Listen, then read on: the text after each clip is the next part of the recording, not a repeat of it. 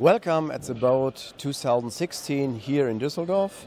That's the first show where we present our new modules, the Series 20. Uh, a range of about nine different types are shown here.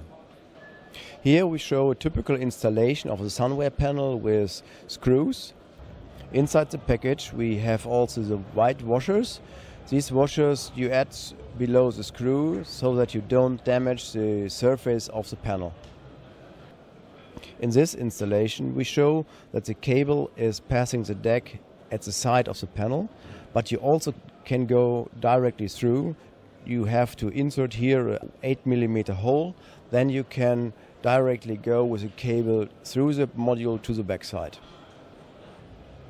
This is a typical installation of a SunWare solar panel and here we demonstrate also the possible bending.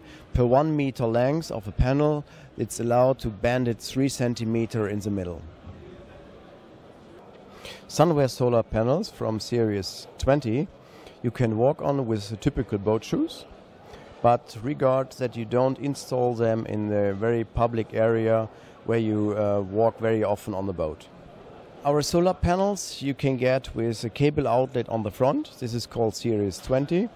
And we also deliver each type also with a cable outlet on the back. This is called Series 40.